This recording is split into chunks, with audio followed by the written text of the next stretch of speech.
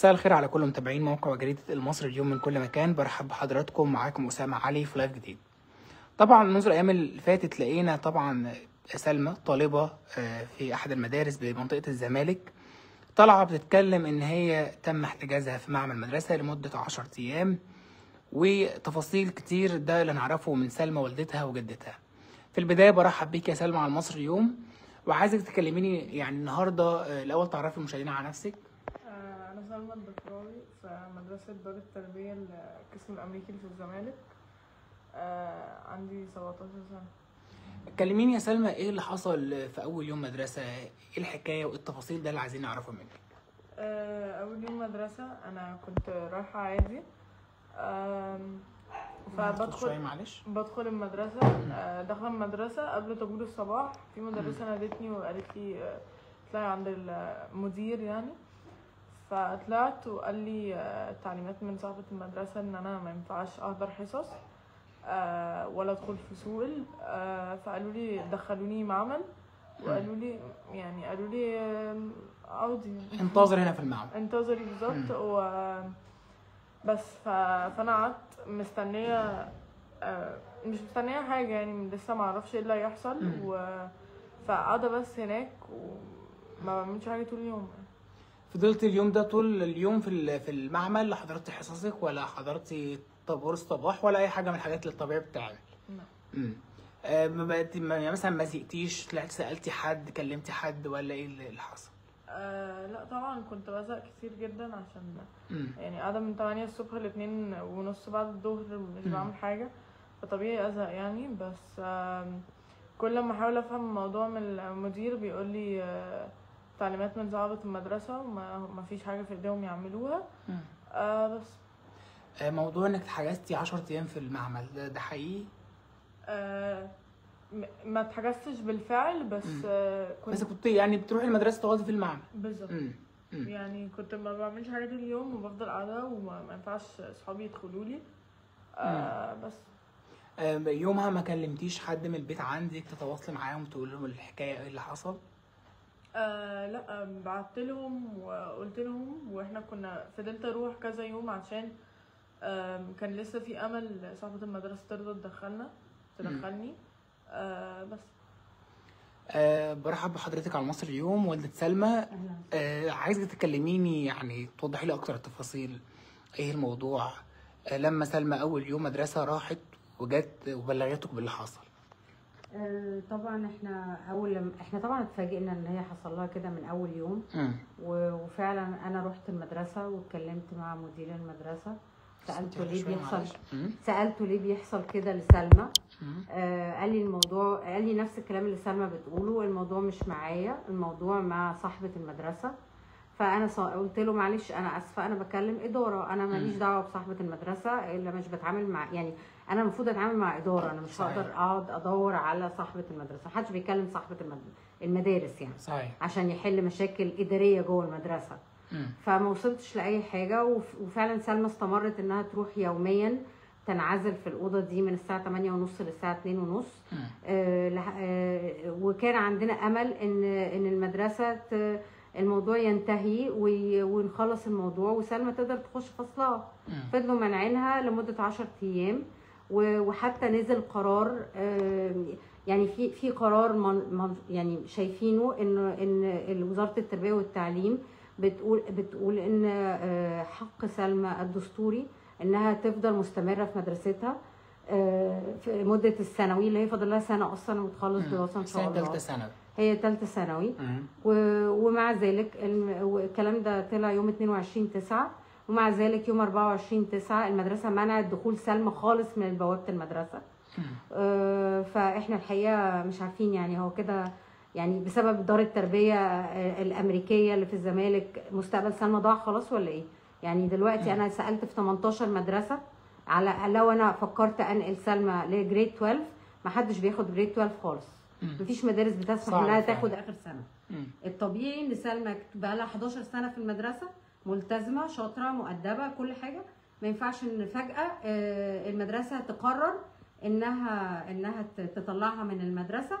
وكمان لما يصدر قرار أو الوزارة تتدخل برضو المدرسة ما تفضل في التعنت بتاعها.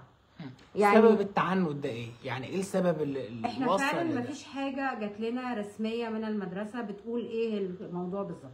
هو يعني هي سلمى ما عملتش أي حاجة أصلا عشان الموضوع ده كله يحصل مش- ده من أول يوم يعني مثلا لو قلنا عملت مشكلة في آه، المدرسة ما كانش من أول يوم هو ما فيش حد بيعمل مشكلة في الصيف يعني هي تخر... هي خدت خدت grade 11 وطلعت بال report بتاعها وال report بتاعها كويس مم. جدا فما فيش حد بيجرى له مشكلة بعد ما يكون أجازة الصيف هي أول يوم مدرسة لحقت تعمل أي حاجة أصلا ما صحيح. لحقتش كمان ان هي جاية قبل ال... قبل ما طابور ما يبدأ صح؟ أيوه مم. وبعدين وفي كمان كذا حررنا كذا محضر آه، من الشرطة والشرطة أثبتت إن سلمى معزولة جوه الأوضة دي وبرضو آه، المجلس آه، القومي للأمومة للأمومة والطفولة.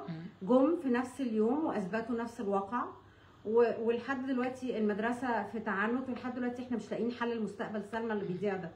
موضوع الحفلة اللي بيطلع على الصفحات وعلى الأخبار إن هي كانت حضرت حفلة مع إن ده هي- مش سبب مقنع ولكن لا نوضح. أوضح لك. هي. دلوقتي الحفلة دي كانت في أوتيل تبع القوات المسلحة وكان في المصيف. مم. وافندم في القاهرة. طبعا. هو في القاهرة عشان الناس كانوا كان في سوء تفاهم في القصة دي. هو في القاهرة وأنا كنت بايتة معاها في الأوتيل أنا وكان معايا إخواتها ومامتي جت اتصورت معانا وبعد كده روحت بس أنا قعدت قعدت في الأوتيل طول ال... طول ال... يعني بي- بيت معاهم. وكنت شايفة الحفلة من أوضة نومي فيعني أكيد أنا كأم أكيد مش هودي حفلة لبنتي فيها أي تجاوزات ولا حفلة عادية جدا آه، آه، مدارس آه، بت- بتحتفل بالتخرج بتاعها جوه الاوتيل المحترم ده. فيعني أنا مش قادرة أستوعب هو يعني هو أنا أخطأت في إيه؟ إذا أنا وديت بنتي حفلة في أجازة الصيف مش باسم المدرسة ملهاش أي علاقة بالمدرسة لا تمت بصلة ليهم. فأنا مش عارفة أنا بيحصل لي كده ليه ومستقبل سلمى فعلا بيضيع. طب إيه اللي تحبي تقوليه؟ ما حاولتوش تتواصلوا مع مع صاحبة المدرسة؟ ما فيش حاول؟ بص. هي عامة مش هو صعب الوصول إليها عامة.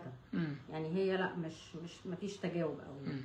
مفيش تجاوب أصلا هل مثلا في آه، صلة آه، معرفة بينكم سابقة مثلا آه، أي حاجة أو كده ولا لا أي خالص لا خالص لا خالص مم. يعني مفيش أي صلة ولا ولا أي حاجة مم. طب المدير بي- بيقول لكم إيه مم. أنا أنا تواصلت معاها على الواتساب وبعد كده هي عملت لي بلوك.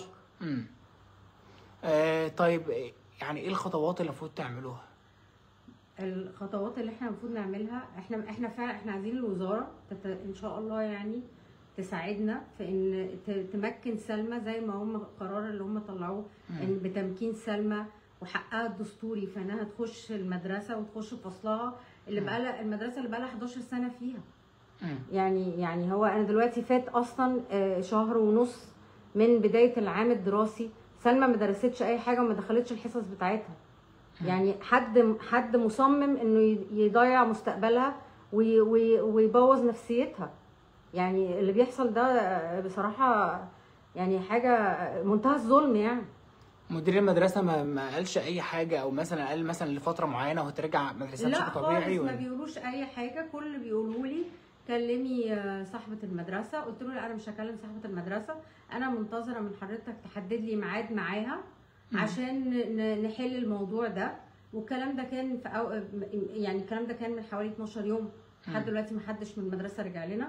ومنعوا سلمى يوم 24 9 من دخول المدرسة أصلا. يعني حتى بعد- أه. حتى أوضة العزل ما بقتش ما ما نقدرش نخشها دلوقتي. مم.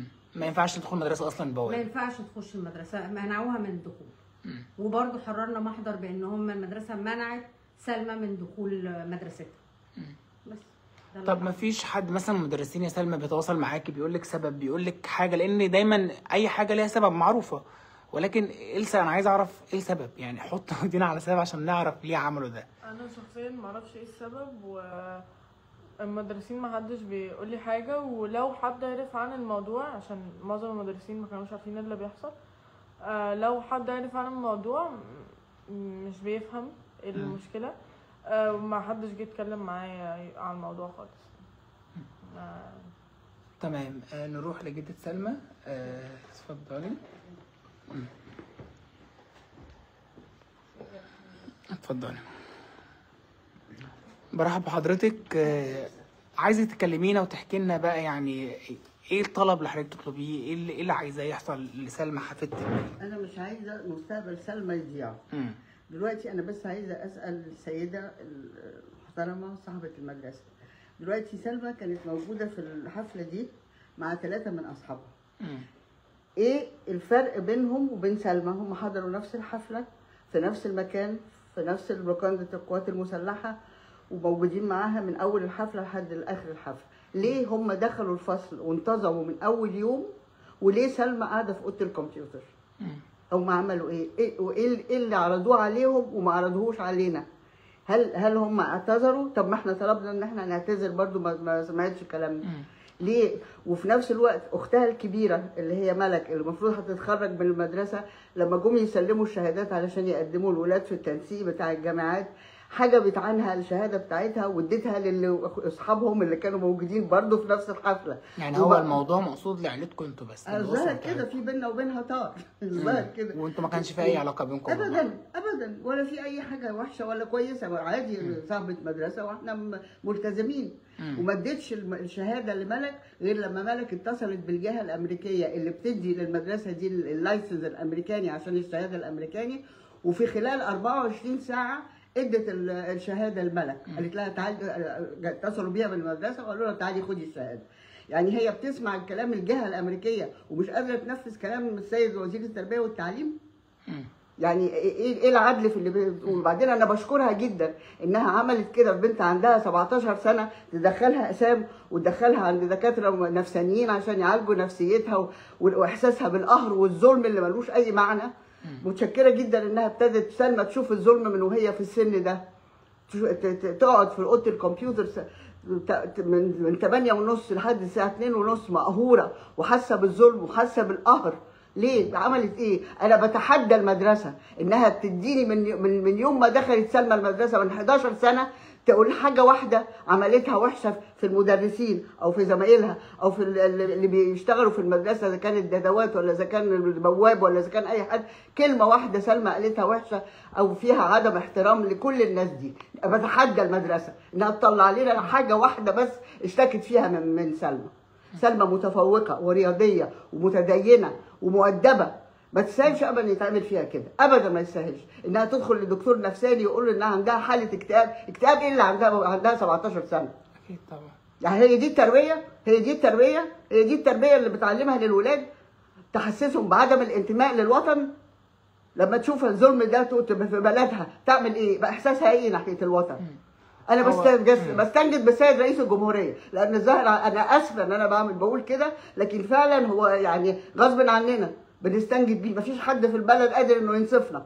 والبنت بقى لها من ساعة ما ابتدت المدرسة من 10 9 وهي قاعدة في البيت ولا خدت كراسة ولا خدت كتاب ولا عارفين مستقبلها هيوصل لإيه. هو ده هو ده العدل في البلد؟ إحنا أكيد طبعا دولة دولة قانون ودولة عدل واكيد كده. طبعا حق سلمى يرجع لها. ولكن هو تصرف مدير صاحبة المدرسة هو تصرف فردي آه، لا، لا, لا, لا يعبر هي أكيد. هي هي مين هي مين معلش. لا؟ يعبر إلا عن صفاتها الشخصية ودي حالة فردية ومشكلة فردية. آه، طبعا وضحنا كل التفاصيل وكل الحاجات في موضوع سلمى. آه، طبعا إن شاء الله حلها يكون موجود. آه، بشكر حضراتكم بشكر حضرتك جدة سلمى ومامتها وسلمى. وإن شاء الله نلاقي لها حل وده كان الموضوع دي القصة. بشكر حضراتكم شكرا لكل متابعين موقع وجريده المصري اليوم. شكرا لحضرتك.